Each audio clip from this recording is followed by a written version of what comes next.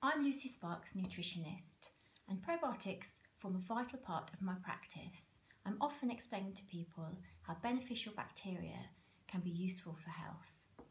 So we have trillions of bacteria that reside in our gut. They've taken up camp there, and by doing so, they actually offer a lot of advantages to our health.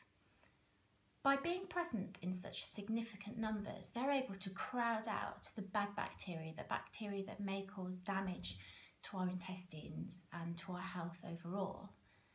They also help us assimilate our food, so to digest um, and extract the nutrients from food that we need.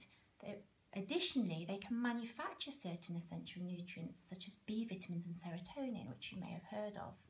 They're able to engulf pathogenic bacteria um, and stop it in its tracks. You may have heard that three quarters of our immune system is seated in our gut, and it's no coincidence that our bacteria reside there. They form an integral role in modulating this immune response and helping form an optimal immune system. So we can get probiotics, which are the beneficial bacteria in foods, from fermented foods such as yogurt and sauerkraut. You may have heard of the two families, Lactobacillus acidophilus and Bifidobacterium, strains of bacteria that are known to be present in the human gut and are well researched and well documented. More and more research is coming out about probiotics and we know how beneficial they can be to health. But also we've seen the negative effects on health when we wipe out all of our bacteria through use of antibiotics. So how can we look after them?